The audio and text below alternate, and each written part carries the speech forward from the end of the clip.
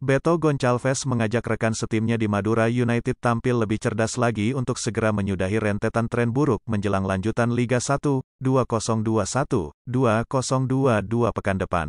Sebagaimana diketahui, seri keempat di Bali belum memberi angin segar kepada Laskar Sape Kerap.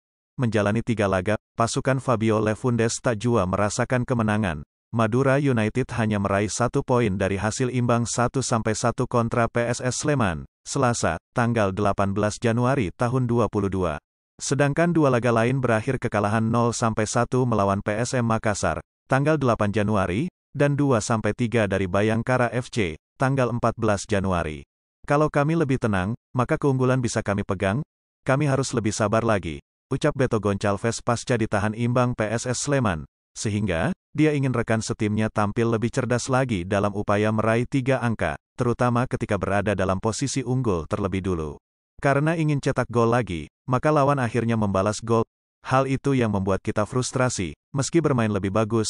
Cetus striker naturalisasi kelahiran Brasil itu. Maka dari itu, Madura United harus segera bangkit, terutama menyambut rangkaian jadwal Liga 1 berikutnya, yang dimulai dengan bertemu PSIS Semarang, Sabtu tanggal 28 Januari tahun 2022. Kami tidak akan menyerah, kami harus kembali tampil bagus untuk meraih kemenangan di laga selanjutnya.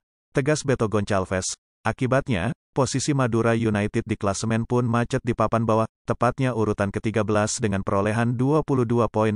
Posisi Bayu Gatra DKK juga kembali terancam masuk zona degradasi yang dihuni Barito Putra dan Persela Lamongan, 16 poin.